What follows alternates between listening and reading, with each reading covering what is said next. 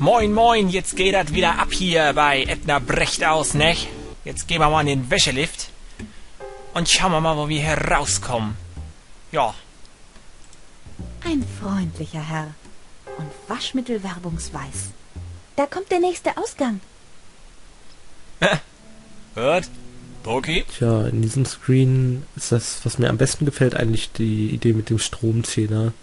Dass Edna, wenn sie sich den Stromzähler anguckt, bei irgendeiner Reaktion, ich weiß nicht mehr genau bei welcher, dass sie dann bemerkt, dass halt irgendwie Dr. Marcells äh, Stromrechnung recht hoch sein könnte, weil irgendjemand ständig das Licht anlässt. Und je nachdem, ob das Licht an ist oder aus ist, gibt es unterschiedliche Reaktionen. Und ich glaube, wenn das Licht aus ist, dann geht sie extra nochmal hin und macht das Licht an, damit die Stromrechnung schön hoch wird. Das mochte ich immer. Sowieso irgendwie bescheuert, dass ich quasi in jedem Raum das Licht an- und ausschalten kann. Habe ich das eigentlich gemacht? Nur für das ein Rätsel? Keine Ahnung. Och. Gut, dann sehen wir uns das doch mal an. Der Stromverbrauch hält sich noch in Grenzen. Hm,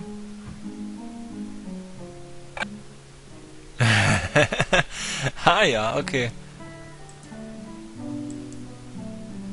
dieses Plakat klärt einen über die korrekte Nutzung des Wäscheliftes auf. Es verschweigt die praktische An... Okay, das hatten wir auch schon. Äh, die Säcke, die werden wir nicht nehmen können, aber... Ich trage doch schon Wäsche. Ach, Die Wäscherei hat das gut verpackt. aber vielleicht können wir da mal reingucken. Was? Das gibt's doch nicht. Die Schere hinterlässt nicht mal einen Kratzer. Wenn ich doch nur Benzin für die Kettensäge hätte. Moment mal. Wenn ich doch nur Benzin für die Kettensäge hätte. Woran erinnert mich? Maniac Mansion, oder? das war eine Maniac Mansion Referenz, oder? Da bin ich aber ziemlich sicher. Sehr genial. Ich, da habt ihr meinen Nerv getroffen, weil Maniac Mansion ist wirklich eins meiner bis heute absoluten Lieblingsadventures. Was? Das der... Wenn ich doch nur Benzin... Ja, okay. Ah, gut. Dann können wir mit den Säcken wohl erstmal nichts machen. Es sei denn, Captain Unbrauchbar hat eine Idee. In diesem Bild kommt Captain Unbrauchbar ohne Hose zum Tatort. Dieser Captain. Captain Sittensträuch. Gut, äh. Ähm. Ja, und hier war das, was Poki vor einigen Parts gesagt hat, dass man hier nicht durch jede Tür kann. Durch welche gehen wir denn jetzt aber zuerst? Gehen wir mal da lang.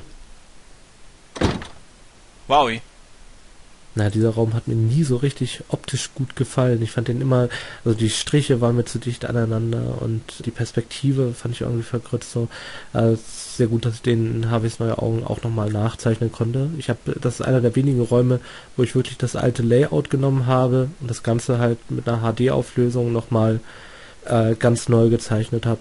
Hat sich gelohnt. Ich glaube, der direkte Vergleich müsste ich mal ausprobieren. Die Screens nebeneinander halten. Und dann vielleicht masturbieren. Weiß ich nicht.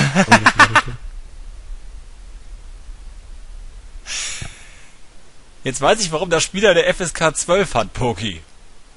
Du bist ein böser Bube. Ich glaube nicht, dass er das tatsächlich gesagt hat. Oh. Ein Alarmknopf. Nein, Edna. Drück bloß nicht den roten Knopf. Niemals den roten Knopf drücken. Vielleicht will Harvey den roten Knopf drücken. Was meinst du, Harvey? Das will ich sehen. Ich mach das? Dann mach doch. Ich mach das. Ich mach das echt. Mach doch, mach doch. Ich mein's ernst. Feige, feige. Edna, Und was jetzt? es scheint keinen Effekt zu haben. Ein Glück. Okay. Können wir das Mikrofon? Nee, können wir nicht benutzen. Schade.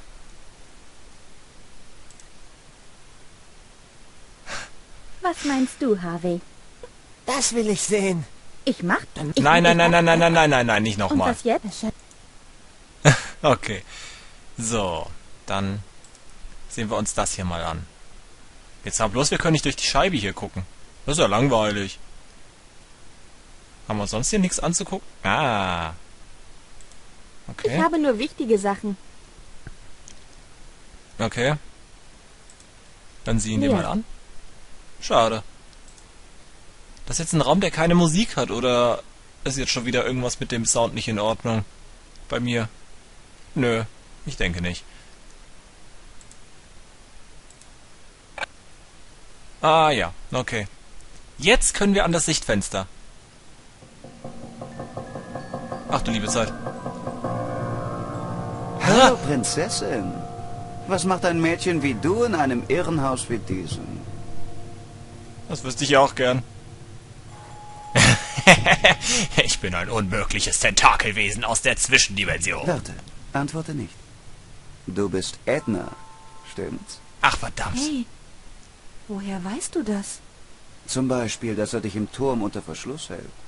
Wir sind also Leidensgenossen. Man nennt mich übrigens den Schlüsselmeister. Ah, Witziger Spitzname, findest du nicht auch?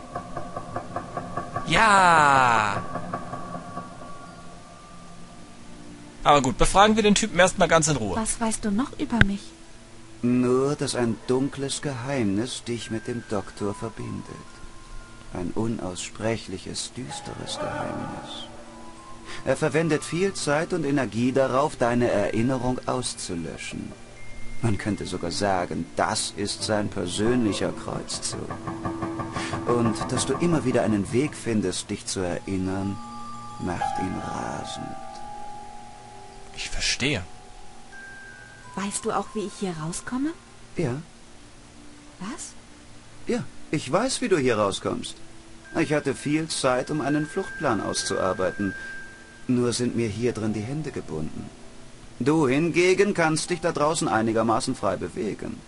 Und du bist clever. Im Gegensatz zu den meisten anderen Insassen. Und? Wie sieht jetzt dein Plan aus? Zuallererst musst du einen Weg auf die andere Seite der Gitter finden. Dann musst du dir eine Kopie des Generalschlüssels anfertigen. Damit kommen wir aus dem Gebäude raus. Und meine Ah, Zellentür bekommst du damit auch auf. Schließlich brauchen wir ein Vehikel, um das Gelände zu verlassen. Klingt simpel, aber Okay. wie komme ich auf die andere Seite der Gitter? Du findest sicher einen Weg. Vielleicht über das Wäscheliftsystem. Es gibt ja doch einen dritten Ausgang im Keller. Aber geh bitte kein unnötiges Risiko ein. Wenn du dich da ohne weiche Unterlage fallen lässt, brichst du dir nur alle Knochen. Und Hm. das war's dann mit meinem Plan. Sehr fürsorglich. Danke. Ah ja. Wie komme ich an eine Kopie des Generalschlüssels? Zuerst musst du das Original finden. Dann brauchst du Ton für einen Abdruck, einen Ofen, um den Ton zu brennen und ein leicht schmelzendes Metall, um die Kopie zu gießen. Gold wäre ideal. Ja, ba, ba, boah. Okay, das habe ich mir jetzt nicht mitgeschrieben. Aber glücklicherweise nehmen wir das hier auf. Wie komme ich an Gold? Hm, knifflig. Dr. Marcel schließt seine Polo-Trophäen zu gut weg, als dass man daran käme. Die einzige Alternative, die ich sehe, ist Adrians Medaille aus dem Puzzlewettbewerb. Ah. Allerdings hockt Adrian in seiner Kissenburg im Aufenthaltsraum wie Graf Rotz und lässt sich von diesem Playboy bewachen. Wie heißt er noch gleich? Roggelbecher. Ja, ja, schon gut. So dämlich wie dieser Adrian auch ist, er hat eine ziemlich gute Gedankenlesernummer drauf. Es könnte sich als knifflig erweisen, ihm die Medaille abzuluxen, selbst wenn du an Droggelbecher vorbeikommst. Ah ja. Wie komme ich an Ton? Gute Frage. Der Ton aus der Beschäftigungstherapie ist vollständig zu hässlichen Aschenbechern verknetet worden. Damit lässt sich nichts mehr anfangen. Aber vielleicht hilft es dir zu wissen, dass das Fundament der Anstalt auf einer sehr lehmigen Erdschicht errichtet wurde. Ah ja. Wie komme ich an ein Vehikel? Alles zu seiner Zeit. So weit sind wir noch lange nicht. Gut. Ich glaube, ich weiß jetzt was. Viel Glück, Edna. Hast du sonst noch eine Frage? Warum sitzt du in einer Einzelzelle? Man hält mich für gefährlich. Und sie haben wohl auch recht. Mehr musst du nicht wissen.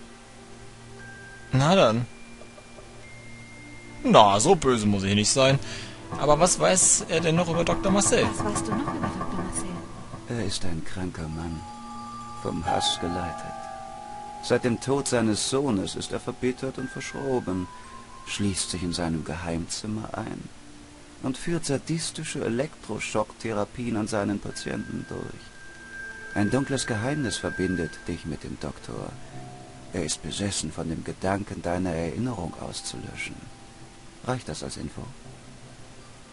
Ah ja, Ich muss weg. Grüß die Freiheit. mach ich. Ja, äh, jetzt habe ich nur eine Frage. Hallo, Und zwar, Prinzessin. ich würde gern mit Poki reden, aber das Problem ist, ich komme da nicht hin. Und während der Typ mit mir redet, komme ich auch nicht zu Poki.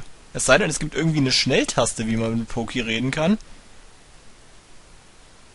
Aber, naja gut, auf der anderen Seite, vielleicht finden wir noch eine Lösung. So. So, wir, ko- äh, wir holen dich da raus, Kumpel. Das wird eh nicht funktionieren, aber egal. Nimm dies, widerwärtiges Ausschlussinstrument. Schade. Hm, das kennen wir ja schon.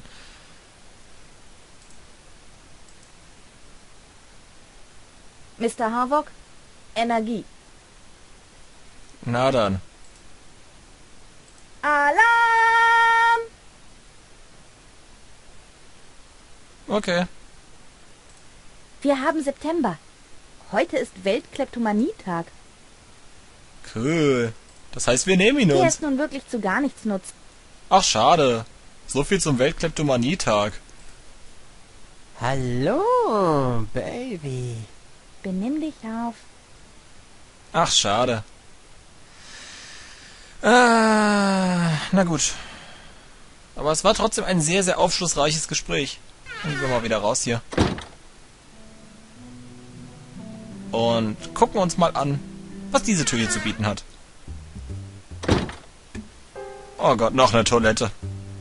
Ja, dieser Raum äh, hat tatsächlich überhaupt keine Walkthrough-Relevanz. Also natürlich muss man irgendwann im Spiel mal eine Spüle treten, aber weil wir halt diverse Spülen im Spiel haben und hier in diesem Screen gleich drei auf einmal, hätte ich mir diesen Raum auch theoretisch starren können. Ich bin aber trotzdem froh, dass ich ihn reingemacht habe. Erstmal macht er das Ganze halt irgendwie ein bisschen voller, realistischer. Ich wollte ja auch irgendwie, dass man die Anstalt vollständig begehen kann, also dass man halt auch wirklich einen realistischen Zusammenhang zwischen den Räumen hat.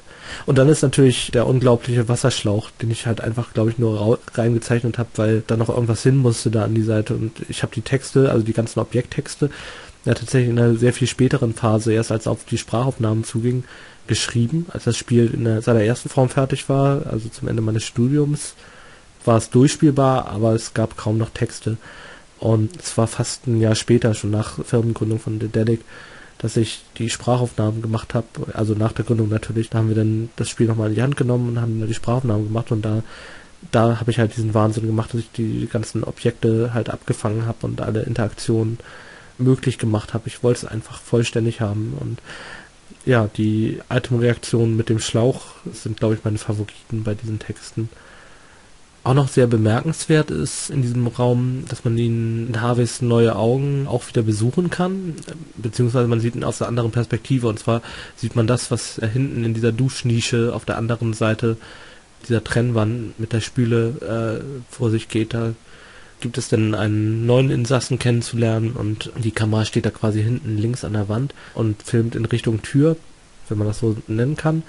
Äh, Und das, was ich daran halt bemerkenswert fand, war, dass in unserem Fokusgruppentest, da haben wir Adventure-Spieler eingeladen, die halt das Spiel noch mal, schon mal durchtesten konnten. Also habe ich neue Augen jetzt nicht Edmund bricht aus, sondern den Nachfolger.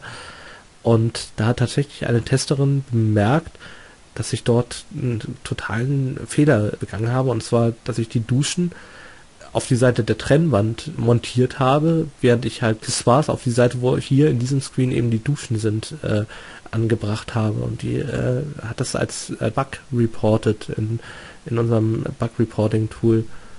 Es gab noch ein paar andere äh, Einträge in dieser Fehlermeldung. Da habe ich wirklich mit offenem Mund da gesessen und gedacht so, wow. Ja, Also dieser Raum ist im Grunde nutzlos, sehe ich das richtig. Aber jetzt würde ich trotzdem mal ein bisschen was testen. Nein, ich möchte, dass das Blut meiner Feinde an der Klinge bleibt. Schade. So, wie war das mit dem Schlauch? Jetzt benutzen wir erstmal den Lichtschalter. Gucken uns das nochmal ganz kurz an. Ja, yeah, da ist er, der Schlauch.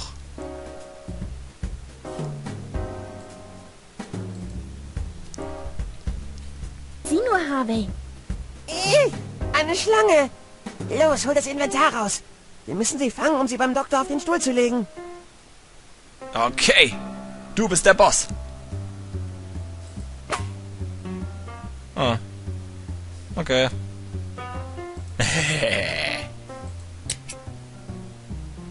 wow, wir haben den Schlauch kaputt gemacht. Toll. Ich hoffe, dass ich damit... Nein. Kann er nicht sein. Er hat ja gesagt, dass dieser Raum im Grunde keinen Nutzen hat. Nicht, dass wir jetzt wieder irgendwas uns versaut haben. In diesem Bild ringt Captain Unbrauchbars Handy in der Schlange vorm Arbeitsamt.